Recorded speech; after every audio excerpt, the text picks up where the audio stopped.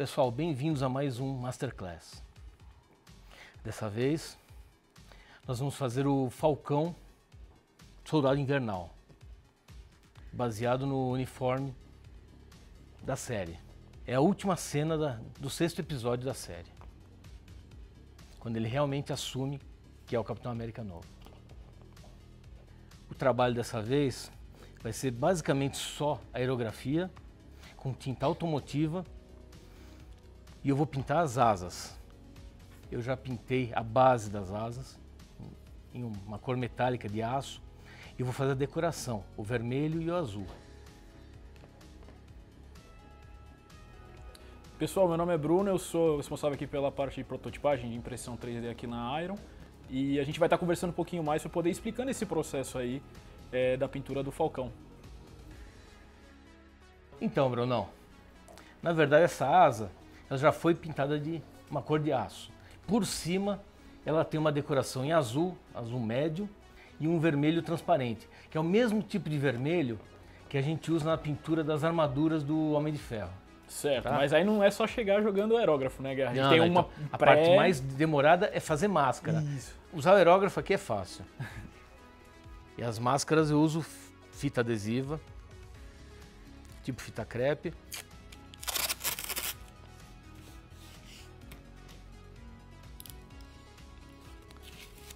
Recorto de acordo com a referência. Você já tenta fazer na, no formato mais parecido para poder encaixar? Não, eu corto filetes e vou delimitando a área que eu quero pintar. E protegendo as áreas que eu quero evitar que a tinta pegue.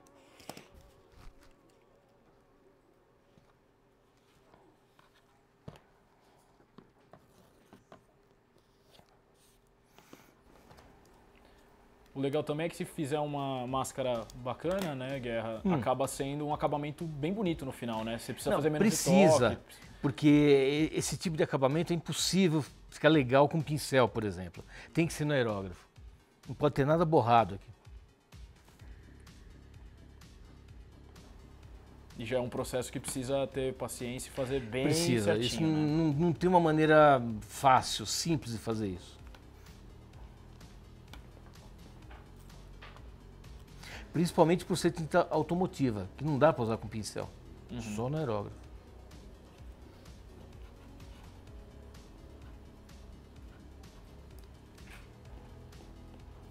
Agora você fez essas tiras, você está colando... E estou com... mascarando as áreas que eu quero evitar que a tinta pegue. Eu vou delimitar Beleza. só o que eu vou pintar de vermelho transparente. Então, eu estou colocando filetes de, de fita adesiva, mascarando em volta da área que eu, que eu quero pintar, protegendo aonde eu não quero que a tinta pegue e delimitando a área da cor vermelha.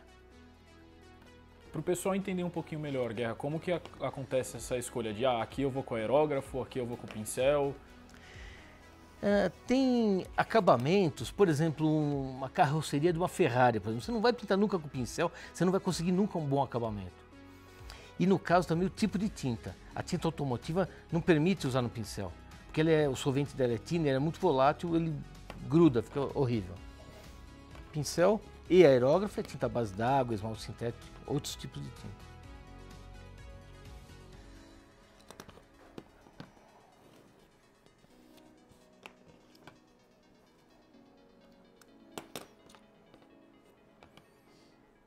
E é realmente um trabalho minucioso, não dá para fazer de outra maneira. Tem que ter paciência, cortar fita. Já, já existe umas fitas já filetadas que facilitam o trabalho. É meio difícil de achar. Para o pessoal que está começando também, essas Oi. tintas elas são fáceis de ser encontradas? Uh, a maior parte das tintas automotivas são fáceis de encontrar. Em qualquer casa de material de, de tintas tem. Não artístico, tintas.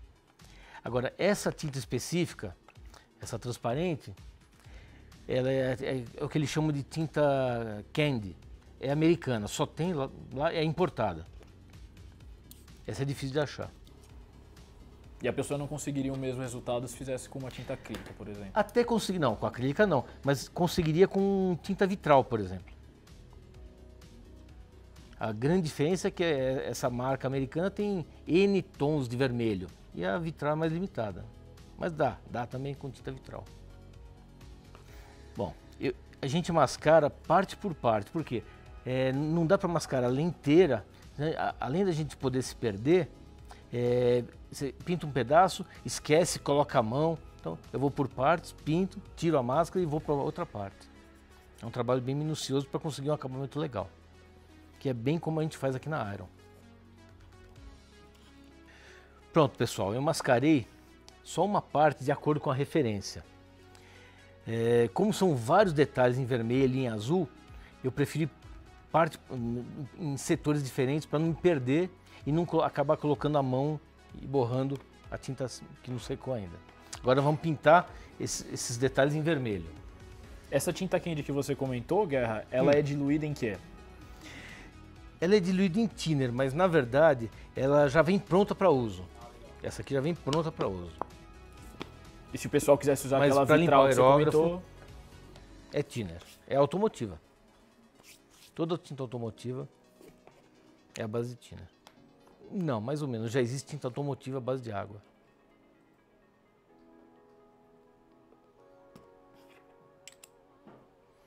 Vou ligar o compressor.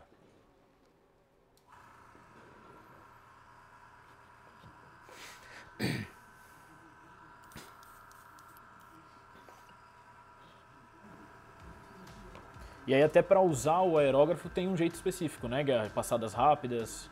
Uh, não, nesse caso, hum, passadas rápidas é mais com spray. O aerógrafo, é, a questão do aerógrafo é uma, é uma, é uma combinação de diluição, a distância do aerógrafo para a peça que está pintando e pressão tentar manter o aerógrafo sempre o mais perpendicular possível da área que você vai pintar. Se você começar a inclinar, a tendência é vazar, até da área que você mascarou.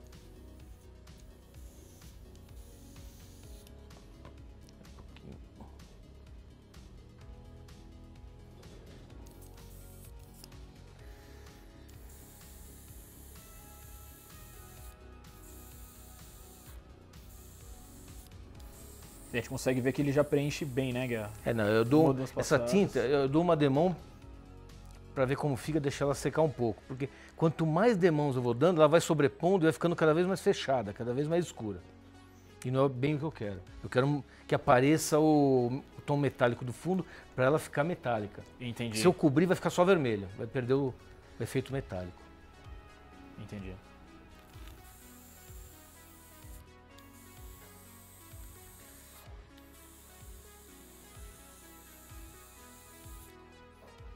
É isso aqui. A gente realmente gasta mais tempo na preparação, né?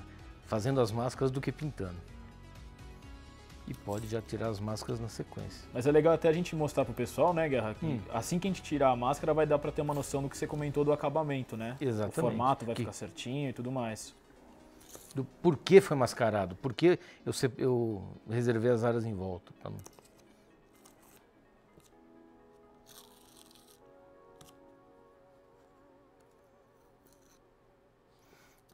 E é interessante saber também que existem vários tipos de máscara. Essa, no caso, é uma fita adesiva. Mas existe máscara líquida, existe uma máscara é, flexível. Para cada caso, a gente usa uma máscara diferente. Ah, e é isso. Agora eu vou para um outro setor.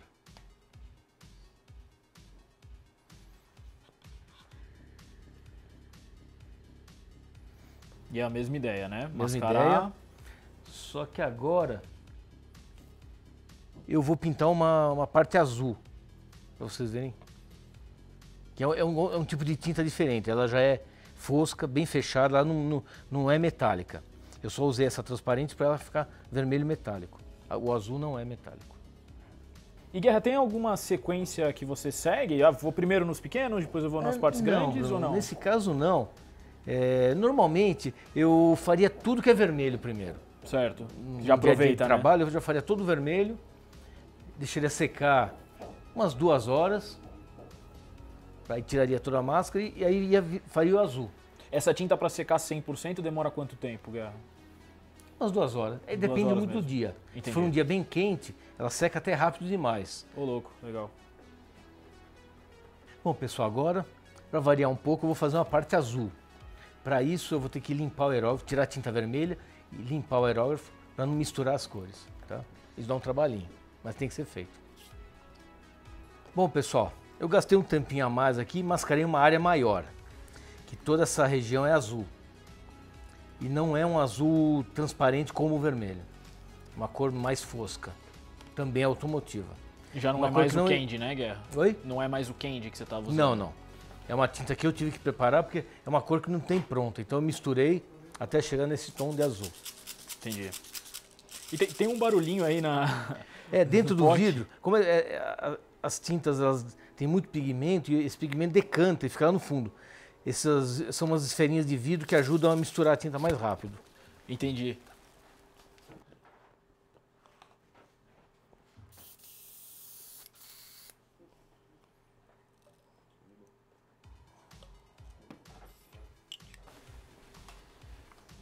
Essa tinta que você preparou, ela foi Foi. diluída em quê, Guerra? Thinner, é automotivo. E thinner também. thinner. O princípio é o mesmo. Sempre mantendo a mesma distância, aerógrafo sempre em movimento, para ele não acumular num ponto só.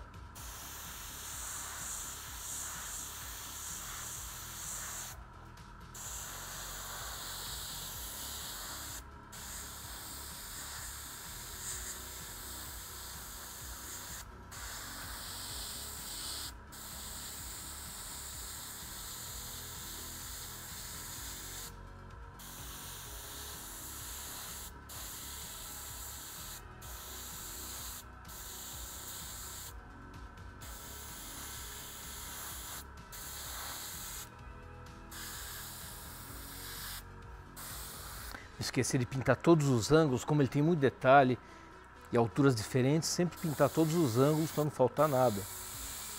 E conferir antes de tirar a máscara, que dá trabalho, então você não vai querer refazer.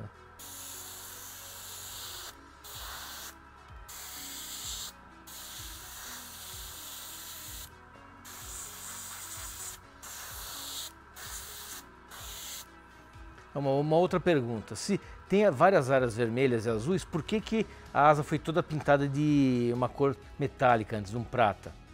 Porque normalmente a gente sempre pinta a, área- a cor predominante primeiro. No caso é o prata. Pronto, agora vamos tirar a máscara para ver como ficou.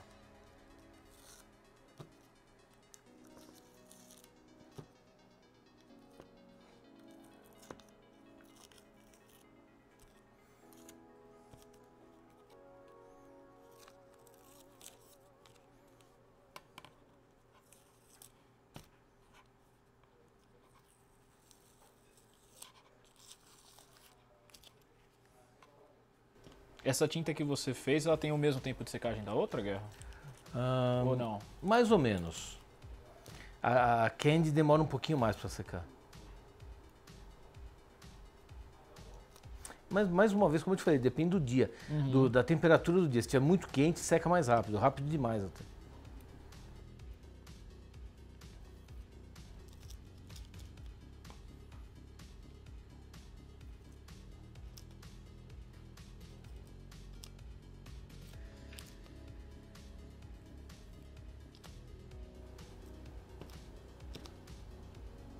Dá pra perceber que você faz tudo usando a pinça, né, Guerra? Pra tomar É esse porque cuidado extra. eu não tenho unha, então a- às vezes é difícil você ficar retirando a, a fita, né?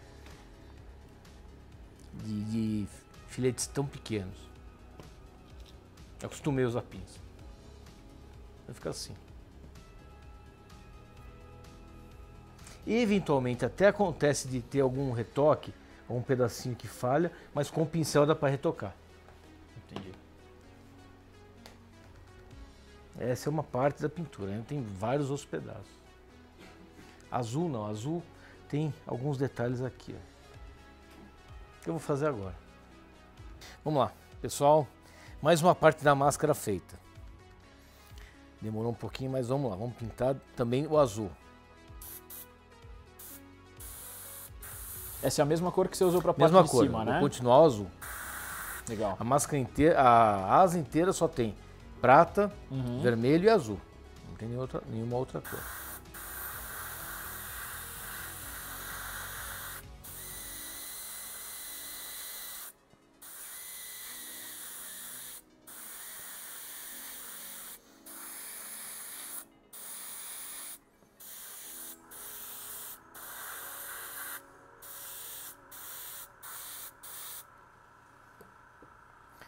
Feito. Agora vamos tirar a máscara para ver o resultado.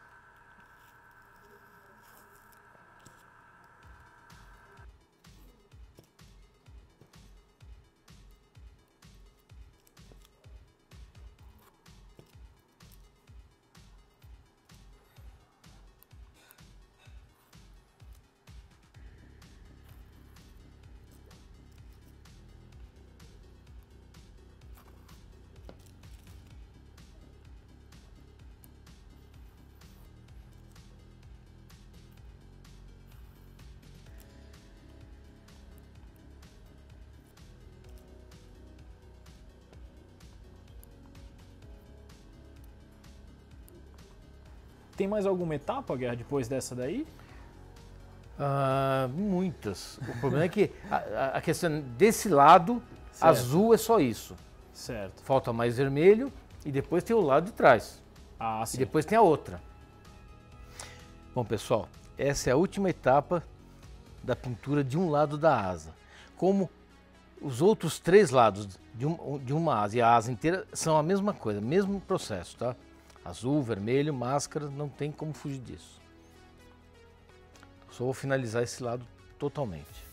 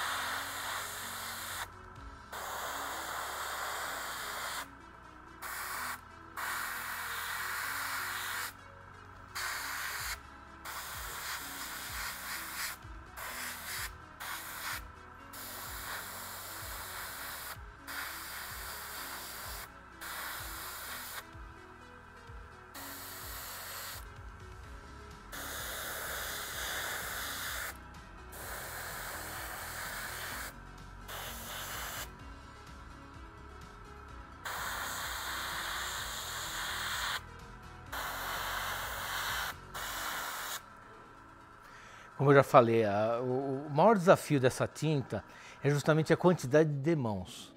Como ela vai ficando cada vez mais escura e fechada, à medida que a gente aumenta as demãos, a gente tem que sempre lembrar quantas demãos está dando para igualar com todos os outros processos de pintura dela. Se eu der mais demãos nessa fase do que dei na anterior, ela vai ficar mais escura. Mas é isso aí, vamos tirar a máscara.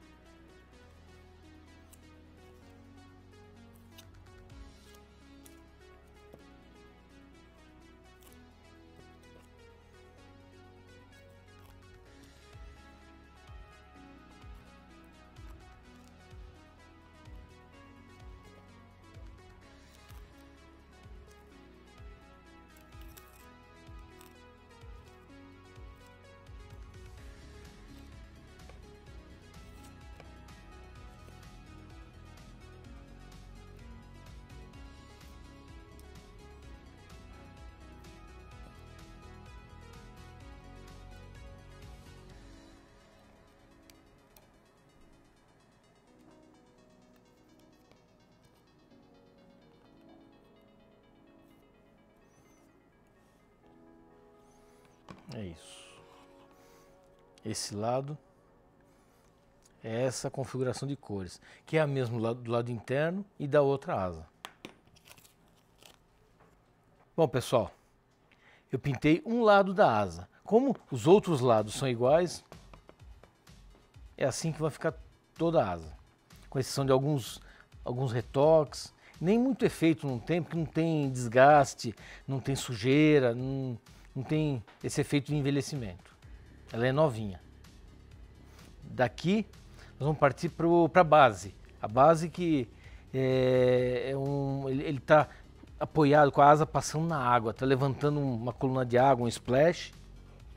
E eu vou mostrar para vocês como pintar essa água, vou fazer o efeito de transparência na água. Aí já não, não vai máscara, aí é tudo a mão livre. É outra, outra técnica. As tintas também são transparentes, translúcidas, mas a mão livre. Vamos lá. Vamos lá, pessoal, para a segunda parte. Agora vamos pintar a base, que é, é um rio, na verdade, um rio à noite. O, o, dia ou noite é difícil de retratar, mas é um rio escuro. E esse não vai ter máscara, né, Guerra? Esse aí é a mão livre. Não, então a, a diferença da pintura da asa é que esse é totalmente a mão livre, não, não vai ser mascarado nada, são alguns tons diferentes, dois ou três verdes diferentes, mas tudo a mão livre. E eu vou usar tintas transparentes também, vitral.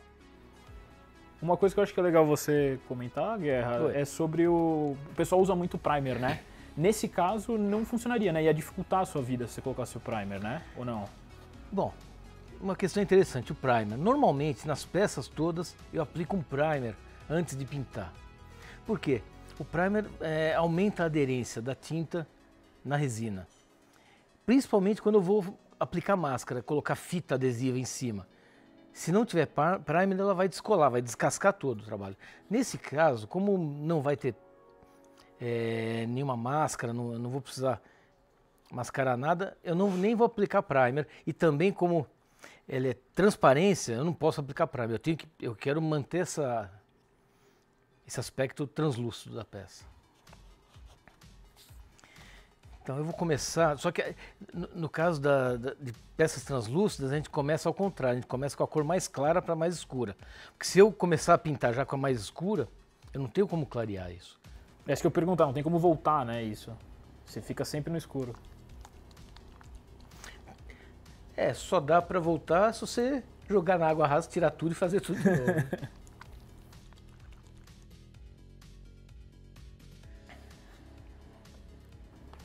Enquanto você está preparando aí, Guerra, Oi. conta pra gente aí também como que você começou nesse mundo aí. Onde que o bichinho faz aí?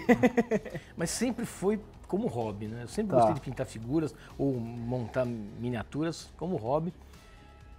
Com seis anos de idade, cara. Meu pai fazia isso. Meu pai, meu pai adorava miniaturas. Meu pai era, era bom, sabia, era um bom pintor, escultor. Era, era um grande artista, ele era muito bom nisso, era arquiteto. Que legal. Então eu, eu herdei essa, essa questão, o DNA, herdei dele, com certeza. E você sempre pintou esse lado mais de super-herói ou você ia mais Não. outros temas assim? Na verdade, não tinha muita opção. Então, Certo. caísse na mão, tava Você pintando. ia. Eu sempre gostei mais de temas militar, pra falar a verdade. Ah, legal. Figuras de guerra, Segunda Guerra Helicóptero. Mundial. Sempre. Que Era mais fácil de encontrar, inclusive. Mas eu acho que uma boa parte da influência é que na época, anos 70, eh, tinha muito bonequinho, muita figura da Gulliver. Tá. E eu ganhava muito da minha avó, do meu pai. E tinha os super-heróis. Eu acho que eu peguei o gosto por figura mesmo naquela época. E agora você tá fazendo o processo pra diluir, Guerra? O que, que você tá fazendo Isso. Agora eu estou diluindo essa tinta vitral? Tá, com água rasa. Ela não é automotiva. certo. Ela é uma tinta. quase uma tinta óleo. É água rasa. O solvente dela. É só, só para o pessoal que não tá muito acostumado. Se você não diluísse, ele entupia o aerógrafo, né? Não, qualquer não, ia tinta. funcionar. Qualquer certo. tinta você pode usar no aerógrafo. Até látex de parede dá Aham. pra usar. Mas tem que diluir bem. Entendi.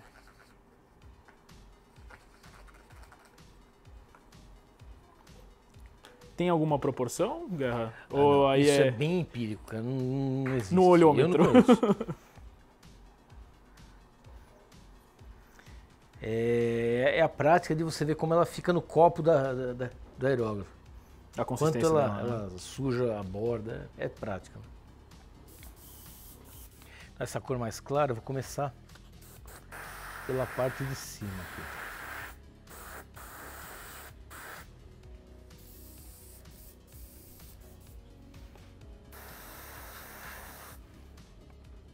Eu diluí demais.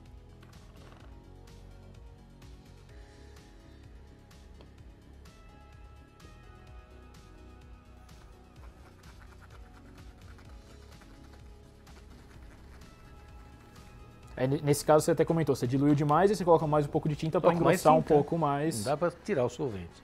Certo. Adiciona mais tinta.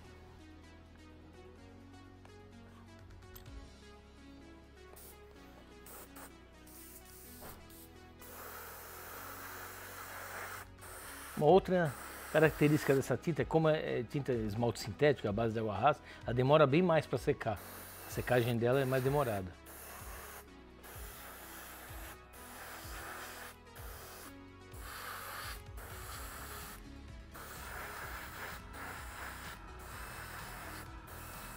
E tem um cheiro mais fedido também. O ideal era poder fazer tudo com tinta à base de água, mas não tem uma tinta à base de água tão translúcida assim, bonita.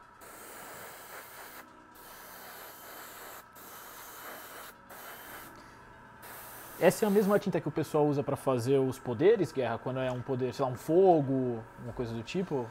Pode ser, mas pode usar também a candy Aham. automotiva, dá para usar também. Entendi. É que essas vitral são nacionais, são mais fáceis de encontrar no mercado e bem mais baratas.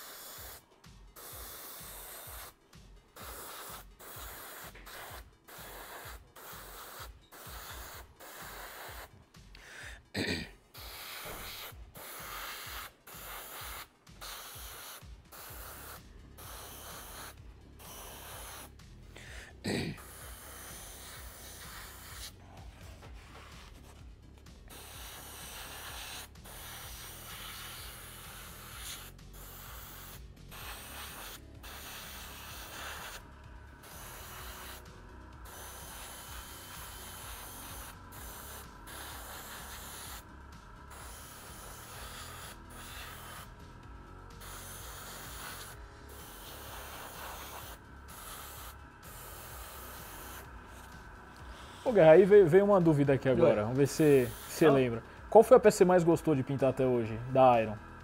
Que é que tá no coração, algumas, vai. Cara, tem algumas. Ah, acho que três, as que eu mais me envolvi, assim, de nem querer parar pra, é. pra almoçar, pra ir no banheiro, sabe?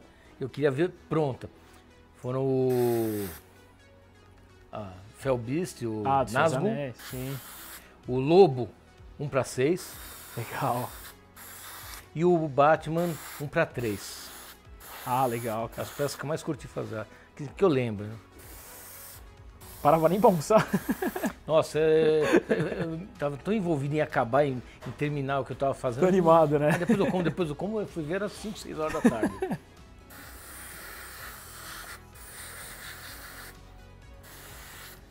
Acho que essa é a grande diferença de você fazer o que você gosta. Ah, com certeza.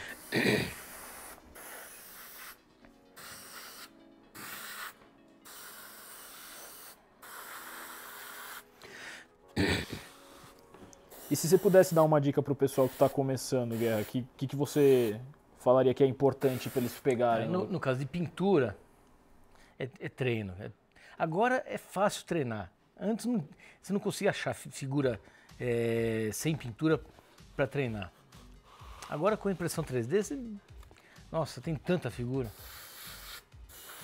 Não tem desculpa para não. E, e não são caras as impressões 3D são, são baratas até, comparada com as figuras que a gente comprava no início dos anos 2000, anos 90. Eram figuras só, só tinha praticamente na Europa e no Japão, figuras de metal. Uma figura, a escala 1 para 32, era coisa de 500 reais, é muito caro. Agora, a impressão Agora é mais fácil, né? Não tem desculpa mesmo.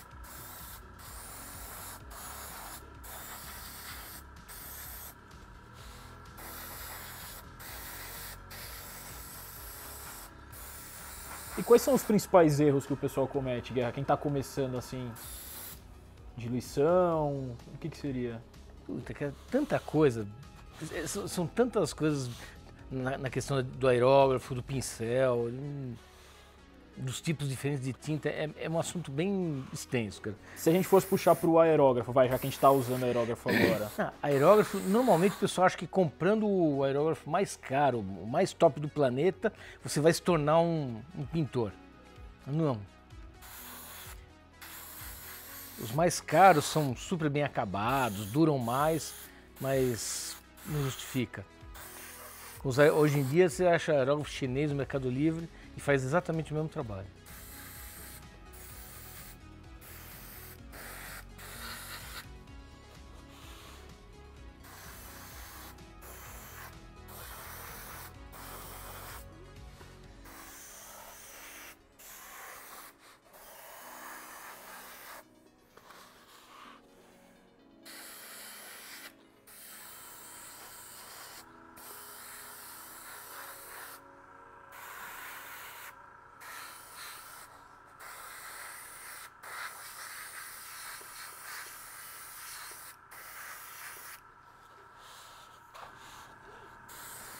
E aí eu acho que já dá para ver bem, né? Você já está começando a marcar um pouquinho mais a questão de onde você Isso, quer que mais tá escuro. Emendando a parte branca com a parte translúcida. Legal.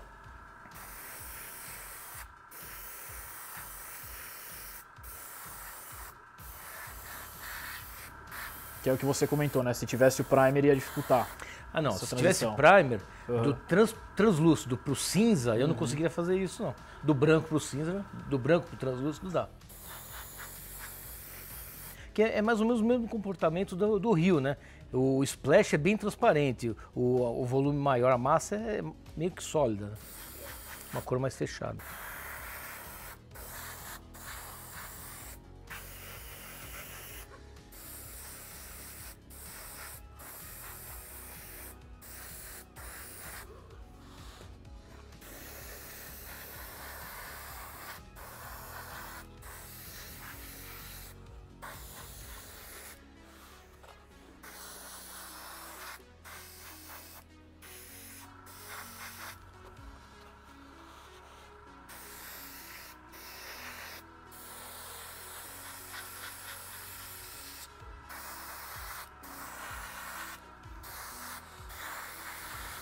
Outra coisa que eu recomendo, mas raramente faço, é usar máscara. Principalmente com esse cheiro, né? É. Água raiz é São forte. solventes, né? Sim, sim. Bem não faz. Ou pelo menos fazer um lugar bem ventilado.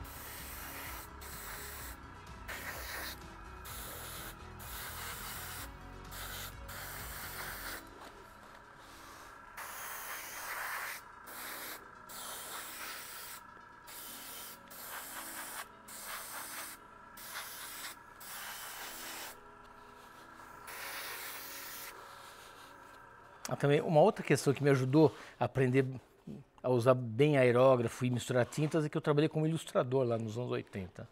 Você ilustrava o quê? Eu trabalhava na editora 3, Que legal. fazia fascículo o dia inteiro desenhando e pintando. Com aerógrafo. Também, Entendi. não só. Depende do que eu queria fazer.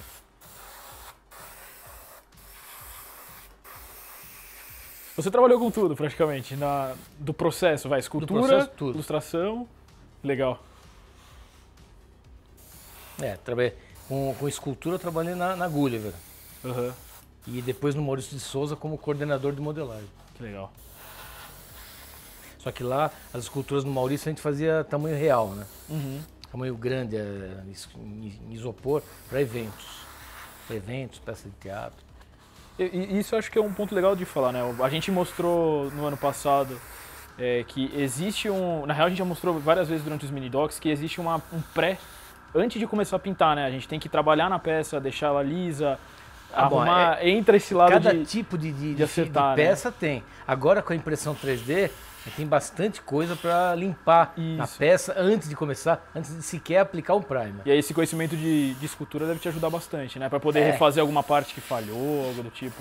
Isso ajuda. Alguma coisa que quebra, por exemplo, que a impressão é demorada. Você não vai esperar mais 20 horas para fazer de novo. Lógico. Aí, se você tiver alguma habilidade com modelagem, vai lá com Durepox e resolve. O pessoal achando que é só pintura, a escultura também ajuda, né?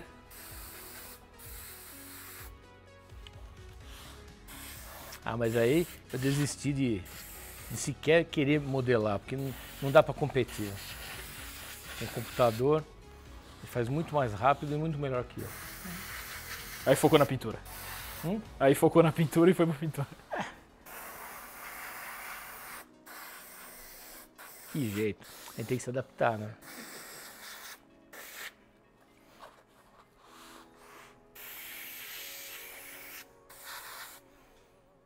É, já dá pra ver bem as variações de tom, né? É.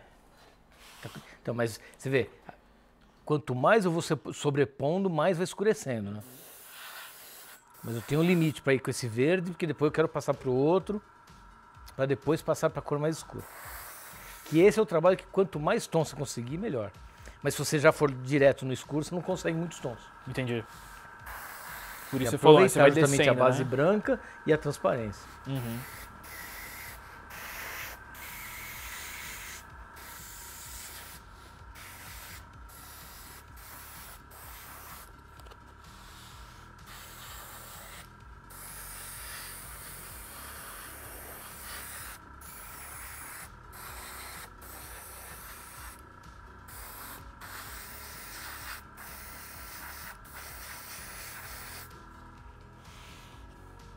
Uma escultura bonita, uma, uma peça bem bonita.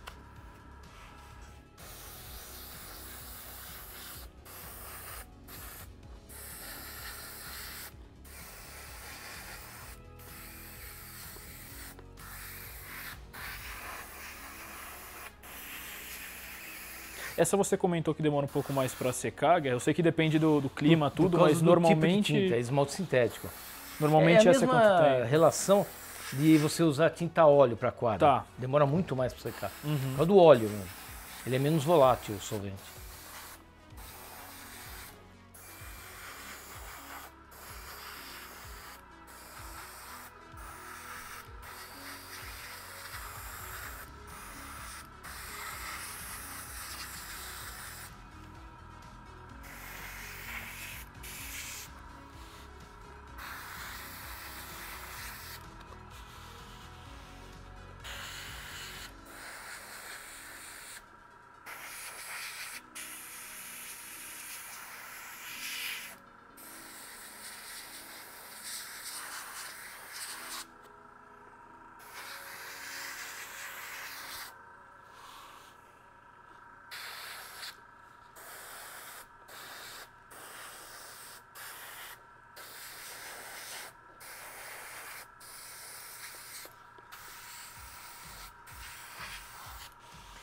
Eu vou colocar outro tom. Tom mais escuro agora.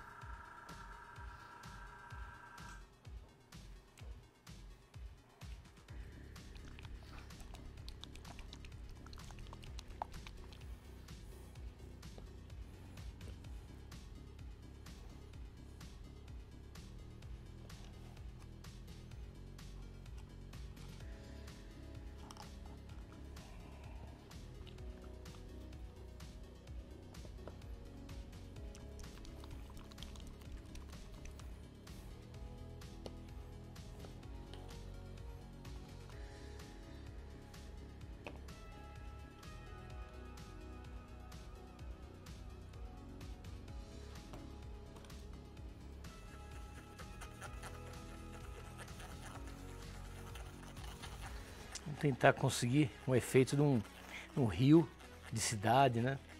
À noite. Não pode ser muito azulado, muito translúcido, muito piscina.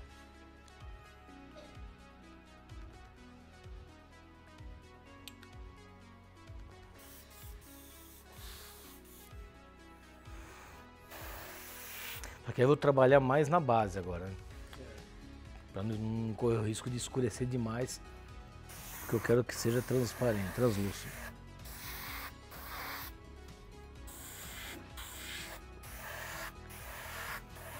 E mesmo na base, eu vou começar a escurecer mais o baixo relevo, né? as partes mais profundas.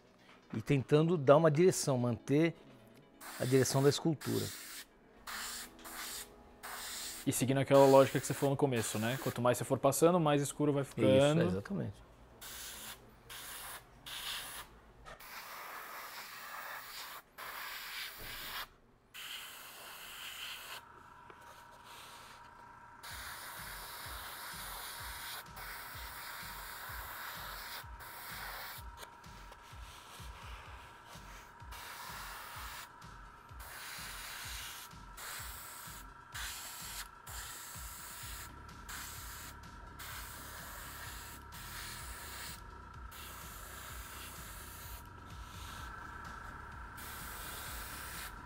O legal é que já começa a dar para perceber é. bem né, o volume quando você joga esse segundo tom aí. Então, mas é exatamente essa função uhum. da, da, pintura, é realçar os volumes da escultura.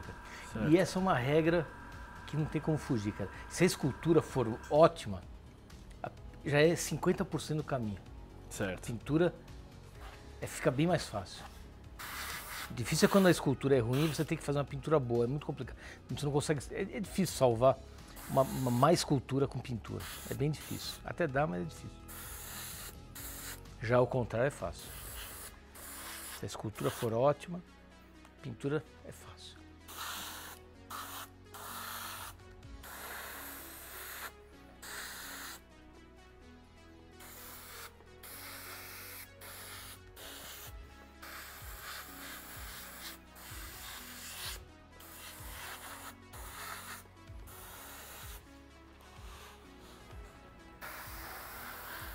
No caso, quando você estava pintando a asa, hum. você limpou o aerógrafo entre um, uma, um, tom de tinta e outro. Nesse caso não Aqui, precisaria. Como todos os tons são verdes, uhum. eu só estou subindo, só estou deixando cada vez mais escuro, posso até misturar eles. Entendi.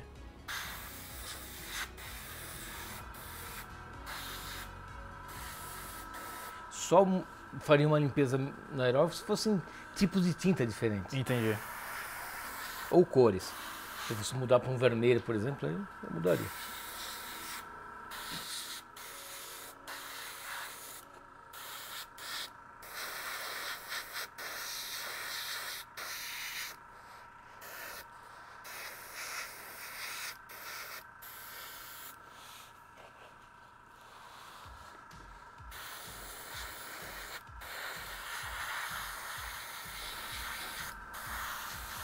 E é legal ver como é esse sombreado que você vai colocando, ele vai realçando o movimento das é. ondas, né? Da água ali. Essa parte é, é divertida. Você pode criar, você pode ficar horas aqui. Quem você falou, quanto mais tom você for colocando, mais vai ficar legal, né?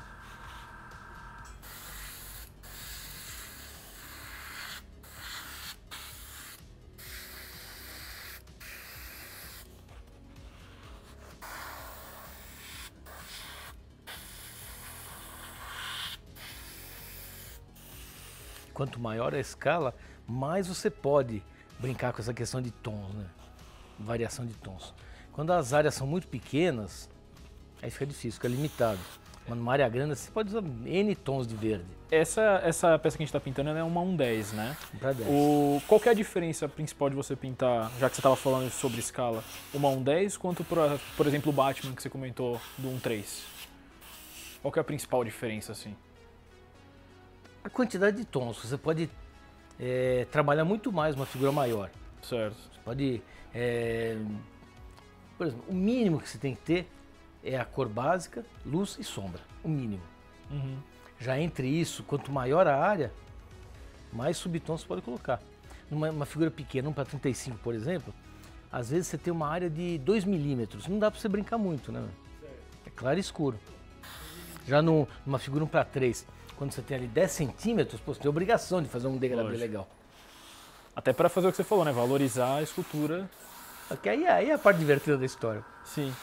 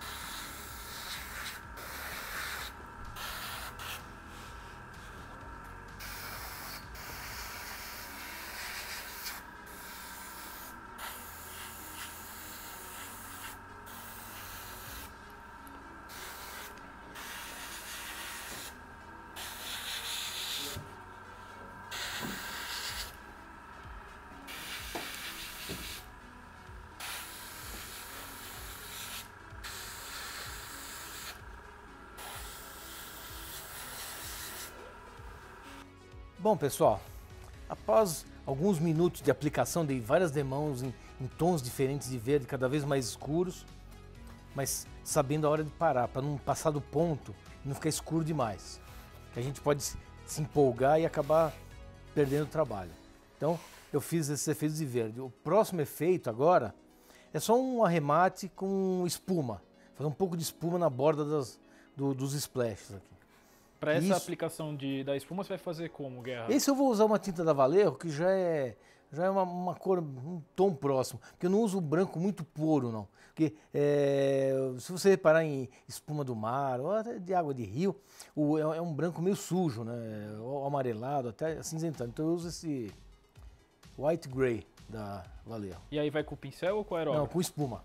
Nenhum dos dois, com espuma. Beleza. Até pode ser com aerógrafo, com, desculpa, com o pincel e batendo assim, mas com, com a espuma fica mais legal. Legal. Espuma para fazer espuma, sem trocadilho. Vamos lá.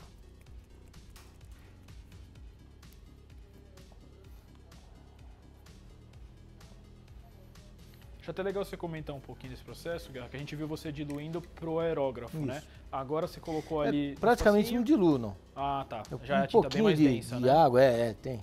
Ser, senão fica muito transparente também. Entendi. É uma espuma, um retalho, um pedaço bem irregular de espuma. Não precisa ser nada muito molha um certinho. tem, tem que ser é, irregular, né?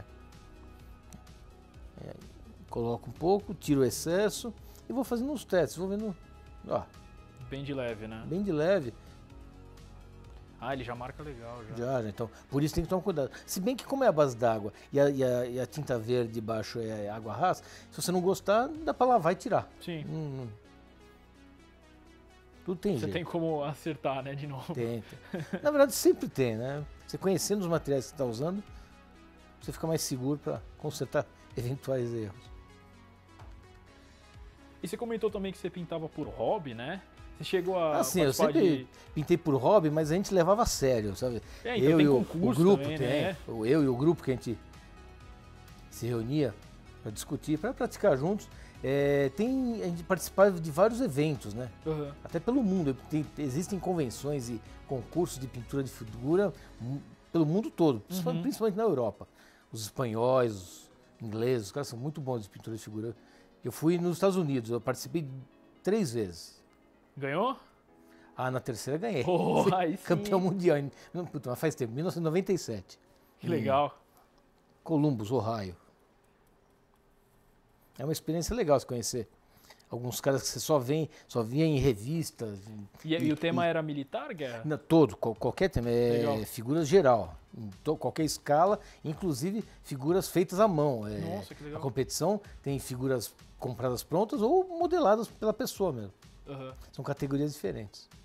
E esse, esses processos que você foi mostrando pra gente, você também aplicou nessa questão que você falou aí, que você acabou ganhando? Essa parte do aerógrafo, essa parte de pincel? Ah, não. Né, né, essas figuras, porque é, eu participei numa uma, uma escala menor. Ah, a escala tá. era 1 para 32, a figura tem Nossa. 5 centímetros, Nossa. Não dá para usar aerógrafo. É, ó, até dá, mas é, é meio que insano. Aí é tudo pincel mesmo. E a maior parte das tintas, na época, eu usava tinta óleo. Ah, eu, tá. eu usei bastante tinta é, a base d'água para base, mas os efeitos eram tudo feitos com tinta óleo de quadro mesmo. Que legal. E aquilo que eu comentei com você, o, o as latitudes de trabalho é tipo 1 um milímetro, 2 uhum. milímetros. Nesses 2 milímetros você tem que fazer o degradê. É, então é bem complicado, não dá para usar aerógrafo não. e geralmente figuras militares, figuras de época, né? Uhum. Samurais, Highlanders, Samurai Celtas, legal. Né?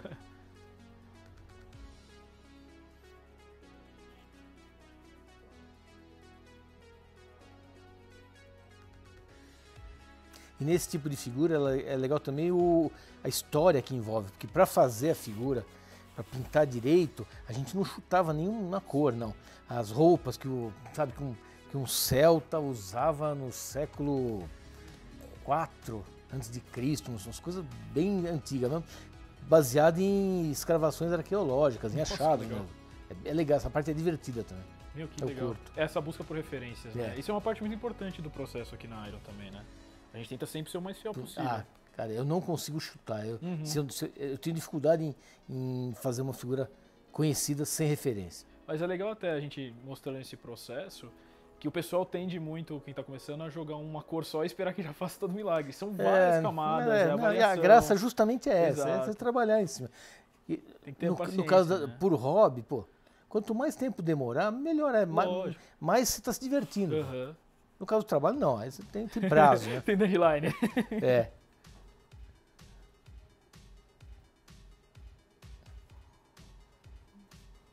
Que legal, dá pra ver bem como conforme ela vai secando, né? Ela vai já marcando bem legal.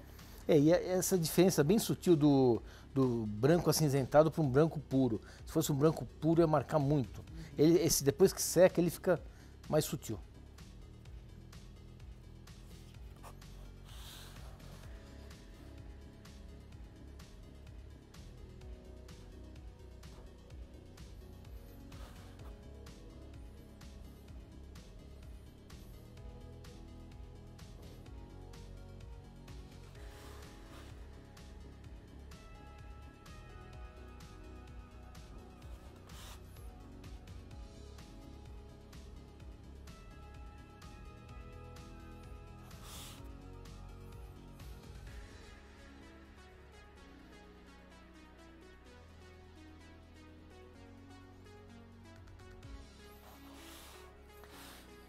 Ah, eu acho que é isso. Para essa figura eu não, não faria muito mais que isso, não. Porque afinal de contas é, é um rio, não é mar. O mar geralmente faz. Água de mar faz mais espuma, né? Eu acho que assim tá bom.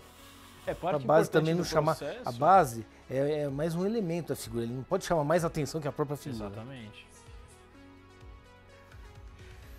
E eu acho legal também que você bate bastante nessa tecla. Tem que saber a hora de parar pra não ficar demais. Não exagerar, né? é. Exato.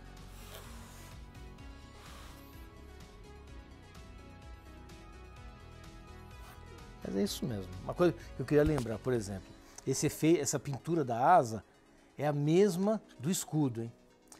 Tanto o, o, o prata metálico que já está, o vermelho é o mesmo, o azul também. E o processo é o mesmo? É o mesmo. Mascarar, mascarar pintar, tirar máscara, refazer, Legal. por aí vai. É isso mesmo, pessoal. Por enquanto é isso. Ainda tem, tem bastante trabalho ainda nas outras partes das asas e o corpo todo, mas um vídeo é pouco, né?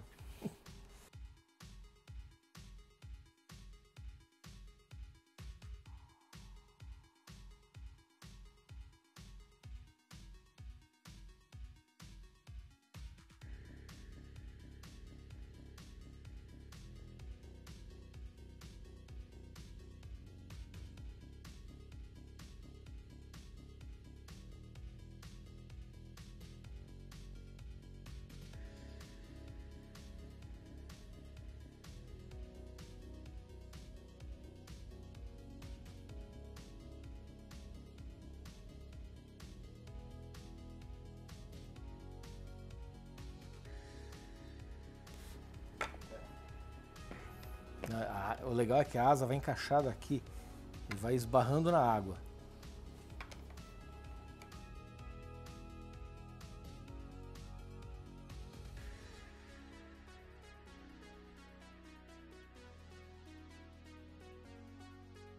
É isso aí, é isso aí. É. Nossa, é bonita. Puta figura legal. Cuidado que tá acabando o seu, seu espaço ali de espuma. Eu tô, tô vendo, tô vendo.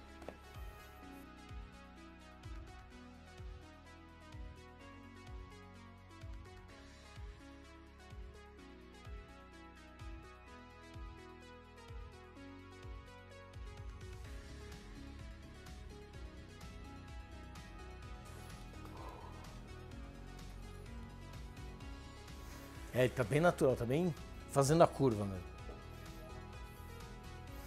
Detalhe bacana, o escudo vai nas costas dele.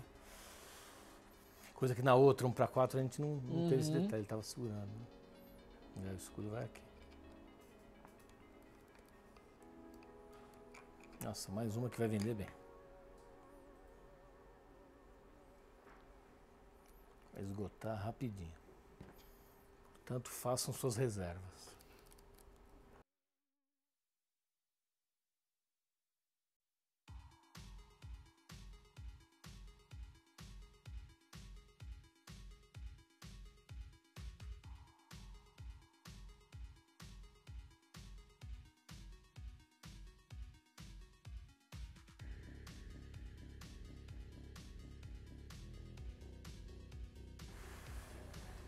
Cara, que peça linda. Ah, é, falta só as mãos, né? Tá na frente aí dele.